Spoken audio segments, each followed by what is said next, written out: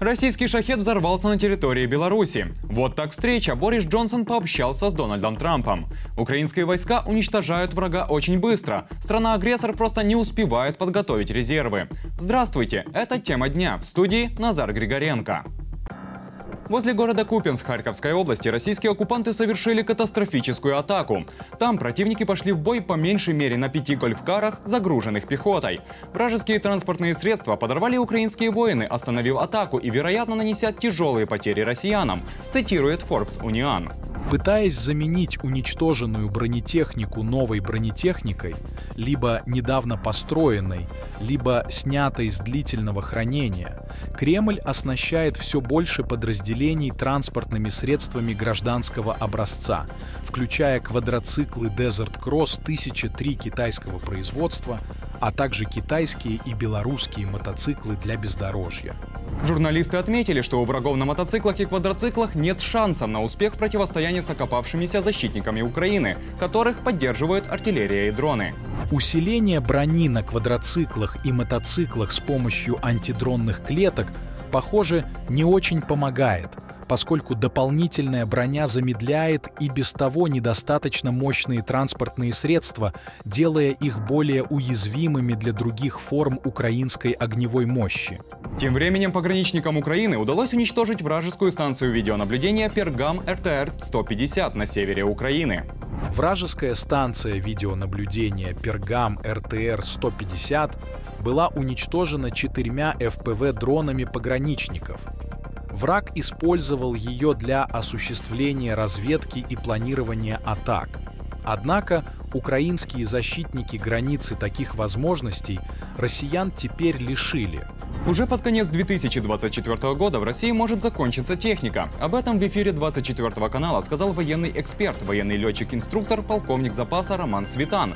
Эксперт отметил, что сейчас основные ресурсы оккупационная армия держит на Донбассе, но и их враг уже начинает сжигать. Между тем, на Харьковском направлении у россиян недостаточно как живой силы, так и техники. Светан считает, что этому может быть несколько причин, а именно, Москва сделала это специально и бросила оккупантов на смерть, а также российское командование не способно рассчитать необходимое количество ресурсов. По словам эксперта, поскольку украинские войска уничтожают врага очень быстро, Россия начинает бросать в бой неподготовленные резервы. Вопрос даже не в подготовке, а в комплектовании. Нет техники. Определенные расчетные данные свидетельствуют о том, что к концу года она может вообще закончиться, и россияне будут работать с колес. А это, возможно, максимум на участке фронта в 100 километров. Именно поэтому в Кремле, по мнению Светана, стремятся остановить боевые действия и накопить технику. Преимущество РФ в использовании артиллерии снова сократилось. Как отметил источник в Генштабе, если раньше россияне использовали 70 тысяч боеприпасов, а Украина 10, то сейчас украинские защитники используют 15 тысяч, а РФ 45. Истребители F-16, которые в скором времени поставят в Украину, имеют невероятные возможности. Об этом заявил председатель Пентагона Пэт Райдер. F-16 имеет невероятные возможности. Это самолет, который мы сами используем в США, как и многие страны НАТО и другие страны мира. Это высокотехнологичная система, которая требует специального обучения не только по управлению, но и по ее обслуживанию и поддержке.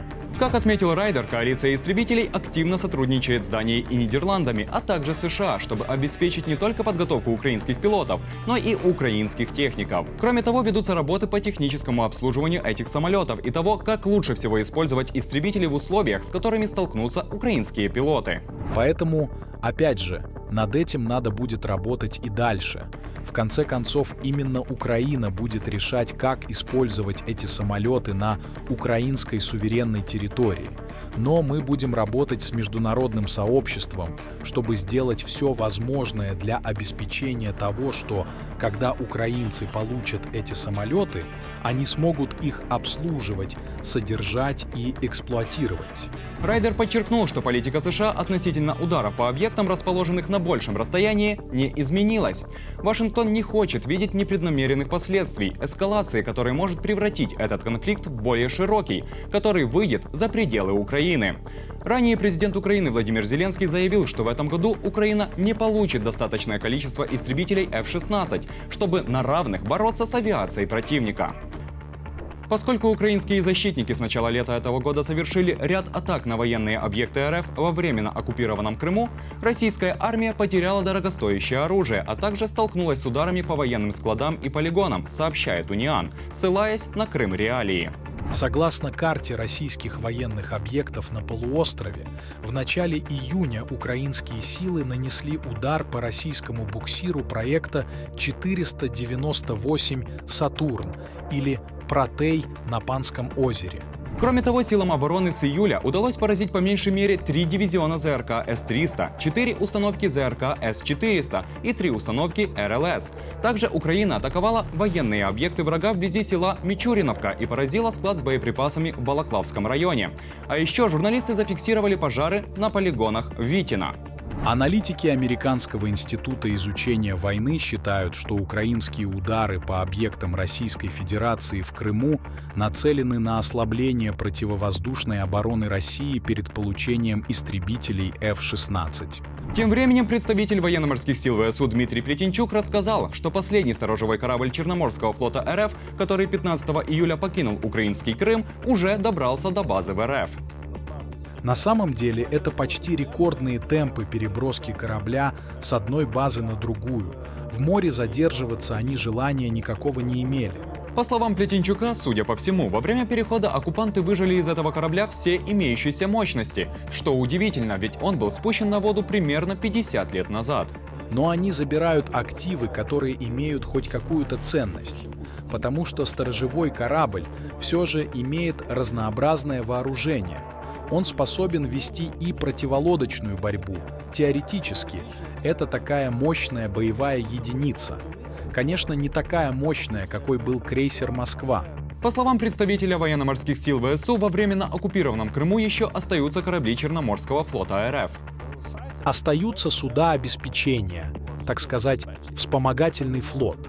Это те единицы, которые, в принципе, из состава флота, они тоже относятся к военному составу. Они не гражданские, но не имеют мощного вооружения. Они могут выполнять различные задачи, такие как, например, буксировка, помощь в море, поисково-спасательные действия. То есть задачи у них разнообразные, без которых флот обойтись не может – по словам Плетенчука, в Крыму остаются большие десантные корабли. Их там остается 5 единиц до этого времени, но с ними есть один нюанс. Россияне их никак не могут доремонтировать. Среди этих пяти кораблей украинский БДК Константин Альшанский, который оккупанты захватили в 2014 году, а сейчас пытаются отремонтировать. Соединенные Штаты Америки поддержат Украину, если она решит пригласить российскую сторону на второй саммит мира. Об этом заявил представитель Государственного департамента Мэтью Миллер. Он подчеркнул, что Вашингтон всегда выступает за дипломатию, однако подобные решения может принимать лишь Украина, пострадавшая от незаконного российского вторжения. Мы считаем, что решения в отношении дипломатии вокруг этого конфликта должны приниматься Украиной, и Украина должна быть в выигрыше. И поэтому, если они захотят пригласить Россию, то, конечно, мы поддержим это решение. Ранее президент Украины Владимир Зеленский заявил, что представители России должны присутствовать на втором саммите мира по Украине. По словам главы государства, план очередной мирной конференции должен быть выработан уже к ноябрю. Для этого планируется провести три встречи по каждому из пунктов украинской формулы мира, которую обсуждали на прошедшем саммите в Швейцарии. Это энергетическая безопасность, мореплавание и обеспечение продовольственной безопасности, а также обмен пленными. После этих трех пунктов, если они сработают, будет готов полностью план реализации всех пунктов формулы мира. И я ставил задачу, чтобы в ноябре у нас был полностью готовый план. В Москве отреагировали на слова президента Украины. Пресс-секретарь диктатора Владимира Путина Дмитрий Песков заявил, что там не понимают, что подразумевается под этой встречей. В середине июня в Швейцарии провели первый саммит мира, в котором приняли участие более 100 стран. Тогда же стало известно, что Украина планирует провести вторую такую встречу, но в этот раз с участием российской стороны. В Швейцарии заявили, что она может состояться до президентских выборов в Соединенных Штатах. Вероятным местом проведения могут стать Саудовская Аравия, Катар или Турция. Пока Кремль пытается уничтожить энергосистему Украины, в РФ все рушится само собой. Во вторник, 16 июля, в Ростовской области вышел из строя энергоблок атомной электростанции. Ростовская АЭС, расположенная в российском Волгодонске, имеет 4 действующих энергоблока. Сегодня один из них был экстренно отключен автоматикой, которая указала на неполадки на турбогенераторе. Власти ввели ограничение энергопотребления на юге России. Часть потребителей приходится обесточивать. Под отключение попал и временно оккупированный Россией Крым. В Севастополе введен график временной подачи электроэнергии. Из-за отключений электричества в центре Севастополя троллейбусы стали в пробку, не работают светофоры. До снижения нагрузок отключением энергии также подлежат Ялта, Алушта, Феодосия, Керчь, Судак и другие населенные пункты оккупированного Россией полуострова. Также проблемы с электроэнергией возникли в Краснодаре. Там отключились более 100 электроподстанций. Днем ранее в Бурятии более 100 тысяч человек остались без электричества из-за аварии на Гусиноозерской ГРЭС. Как сообщил глава региона Алексей Цыдинов, там отключен один из трех энергоблоков. Позже Цыдинов добавил, что без электричества частично остались жители семи муниципальных образований республики и Улан-Удэ. В правительстве Бурятии заявили, что выведены в ремонт два энергоблока ГРЭС. Жители Гусиноозерска рассказали, что перед отключением электричества слышали в городе сильный хлопок. Связан ли он с отключением энергоблока станции на тот момент неизвестно. Цыдинов впоследствии объяснил, что, мол, да, связан. Остановка энергоблока произошла из-за появления свища в котле. Энергоблок был остановлен, сработала автоматика, аварийные клапаны сброса давления, а это громко. Именно срабатывание клапанов слышали очевидцы. А вот в Краснодаре 16 июля произошел сильный пожар на складе со стройматериалами. Там огонь охватил тысячу квадратных метров. В Белгородской области ограничивают въезд в 14 населенных пунктов. Об этом заявил губернатор области Вячеслав Гладков. С 23 июля ограничиваем доступ в 14 населенных пунктов Белгородской области, где оперативная ситуация крайне складывается крайне сложной. Гладков отметил, что пускать туда будут только мужчин в бронеавтомобилях и бронежилетах сопровождения. На въездах э, в села, в населенные пункты будут установлены контрольно-пропускные пункты. Нести в них будут э, э, службу представителей силовых структур. Атаки украинских беспилотников в глубине России продолжают давить на российскую систему ПВО. Они заставляют военное командование РФ приоритетно распределять ограниченные средства противовоздушной обороны для прикрытия важных, по их мнению, объектов. Об этом сообщает Институт изучения войны. Спутниковые снимки от 6 мая свидетельствуют о том, что по меньшей мере 7 зенитно-ракетных комплексов средней дальности «Панцирь-1» защищают резиденцию правителя России Владимира Путина на Валдае. Глава Московского центра анализа стратегий и технологий и член гражданского консультативного совета при Министерстве обороны России Руслан Пухов заявил 16 июля, что такое очаговое покрытие ПВО не имеет смысла, поскольку позволяет украинским беспилотникам наносить удары с неприкрытых направлений. Аналитики отмечают, что на фоне проблем с нехваткой ПВО оккупанты начали формировать мобильные огневые группы, такие же, как Украина успешно развернула для защиты от ударов российских беспилотников «Шахет». Впрочем, РФ до сих пор не развернула эти группы в необходимом масштабе. Постоянное давление на российскую систему противовоздушной обороны привело к тому, что отдельные региональные органы власти прямо заявили, что российские компании и местные органы власти не могут полагаться на российскую противовоздушную оборону федерального уровня и должны обеспечить собственные возможности противодействия беспилотникам. Тем временем, утром 16 июля один из российских шахедов взорвался в Беларуси. Об этом сообщает белорусский Гаюн. Дрон разбился в Октябрьском районе Гомельской области, а это в 120 километрах от границы с Украиной. Более того, нам доподлинно известно, что во время падения произошел взрыв дрона «Камикадзе», что прямо подтверждает, шахеды, которые залетают на территорию Беларуси, никакие не учебные или разведывательные, а реальные с боекомплектом на борту. И предназначались они для атаки по территории Украины. Отметим, что это уже третий подобный случай за последние несколько дней. США будут поддерживать Украину всеми возможными способами в ее стремлении определять свое будущее. Об этом заявил представитель Госдепартамента Мэтью Миллер, передает «Голос Америки».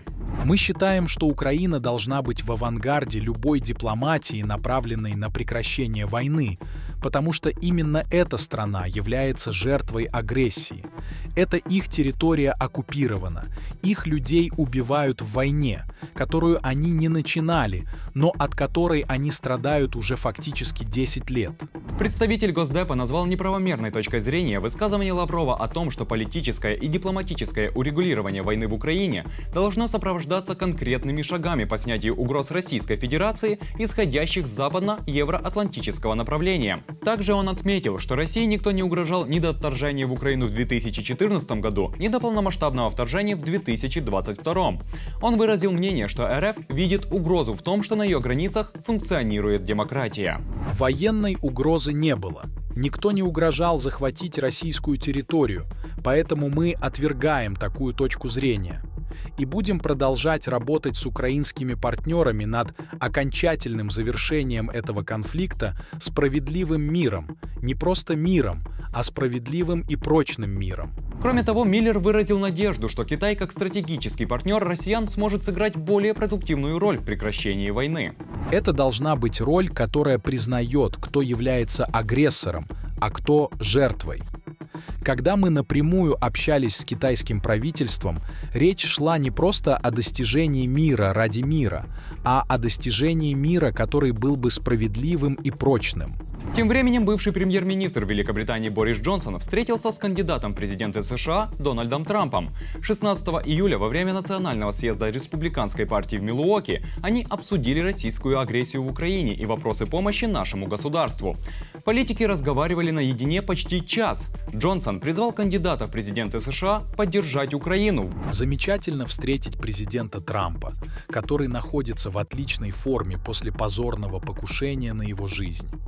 Мы обсуждали Украину, и я не сомневаюсь, что он будет сильным и решительным в поддержке этой страны и защите демократии. Встреча прошла после того, как Трамп подобрал кандидатом в вице-президенты сенатора от штата Агая Джей Ди Венса, который является громким критиком поддержки Украины.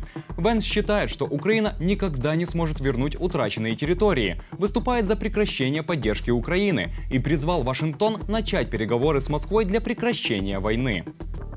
Правительство Великобритании намерено обратиться к Евросоюзу с призывом усилить контроль за теневым флотом России, передает агентство Bloomberg со ссылкой на источники. Этот вопрос планируется обсудить в кулуарах встречи Европейского политического сообщества, которую 18 июля проведет британский премьер-министр Кир Стармер.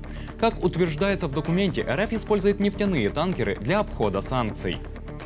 Теневой флот России представляет угрозу для наших стран и других государств – зависящих от мировых морей и океанов.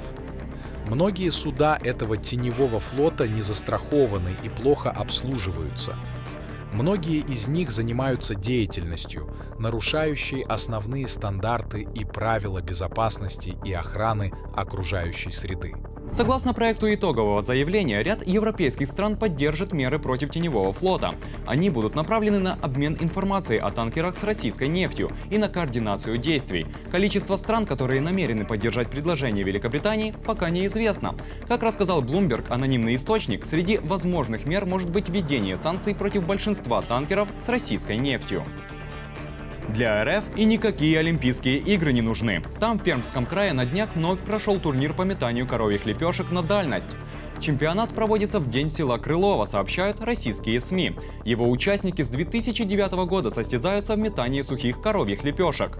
Фестиваль получил довольно оригинальное название – «Веселый коровяк». Судя по лицам россиян, метание навоза действительно их веселит. На фоне всех санкций и ограничений жителям РФ только и остается, что искать даже такие поводы для поднятия настроения. Оказывается, соревнование стало уже своеобразным брендом. Желающих поучаствовать в метании и поглазеть огромное количество. Как сообщают организаторы фестиваля, такого наплыва туристов и участников за последние 14 лет еще не было. Еще не считали число участников. Пока разгребаем последствия. Но больше тысячи точно пришло. Если раньше мы на конкурсы зазывали людей, то сейчас просто не знали, как остановить поток желающих.